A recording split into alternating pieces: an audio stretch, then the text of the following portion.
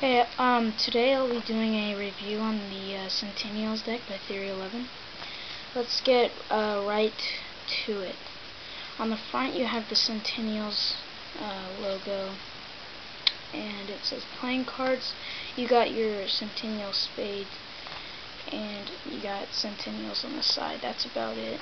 Uh, you got your back of the card on the back.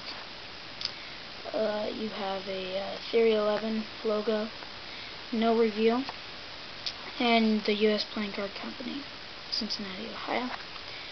And that's about it. Now, what I really like about this deck is the box has a texture to it. Like, everything stands out. It's very nice. So, let's open these up. Now, just to say, I, these are not brand new. I've had these for a very long time, yet they feel like brand new cards. Okay? They're very nice. They fan like brand new cards still. Okay, so let's see what they come with. They come with um, uh, two jokers. They're almost identical except they look as if they have guitars or something like that in their hand. One is red, one's blue.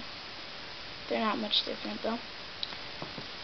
Um, then you have your ace of spades this is a very nice space. It's, you got your spade and then like a, a sword going through.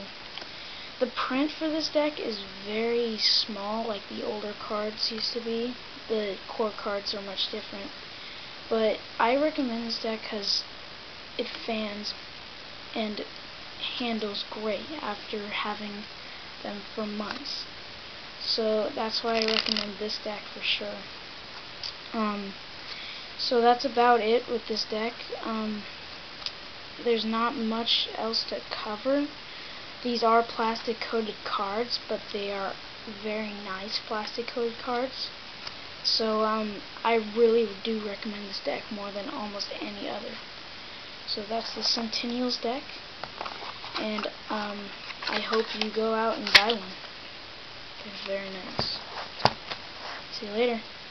Please comment, rate,